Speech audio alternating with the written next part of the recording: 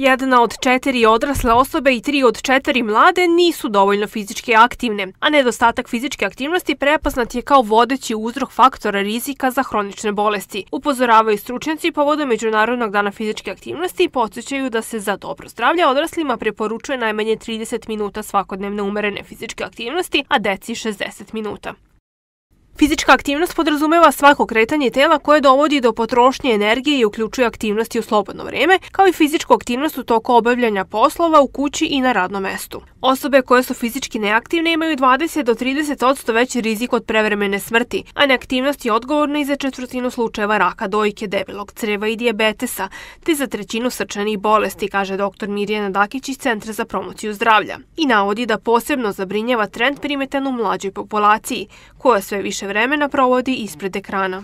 Istraživanje ponašanja u vezi sa zdravljem dece školskog e, uzrasta u Srbiji 2022. godine pokazuje da samo 31% učenika 5. i 7. razreda osnovne škole i u prvom razredu srednje škole imaju preporučen nivo fizičke aktivnosti od 60 minuta svaki dan. Dečaci u svim uzrastnim grupama aktivniji su od devojčica, a sa uzrastom opada broj e, fizički aktivne dece kod oba pola, posebno kod devojčica.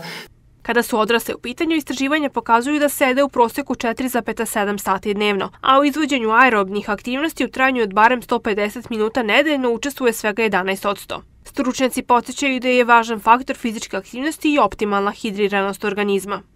Jako je važno znači da tokom fizičke aktivnosti gde definitivno gubimo tečnost e, mnogo više nego u mirnom stanju, e, da se ta tečnost adekvatno nadoknadi često neki umor koji svi osjećamo kada smo intenzivno fizički aktivni, nije zapravo umor koji nastaje od rada mišića, nego je umor koji nastaje od nedovoljne količine vode u organizmu. U obeležavanje Međunarodnog dana fizičke aktivnosti uključuje se i Savez Sport za sve, koji će tokom maja organizovati nekoliko dešavanja posveđenih sportu i vežbanju. Poslednja nedelja meseca maja je tradicionalno e, posvećena e, nedelji kretanja. Održava se pod nazivom Movie Week e, koja e, se organizuje u organizaciji Asocijacije sporta za sve Srbije i Međunarodne asocijacije sporta i kulture.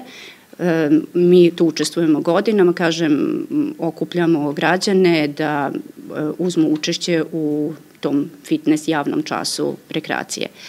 Međunarodni dan fizičke aktivnosti ustanovljen je 2002. godine i obeležava se 10. maja sa ciljem podizanja svesti o značaju i važnosti redovne fizičke aktivnosti u očuvanju i unapređenju zdravlja.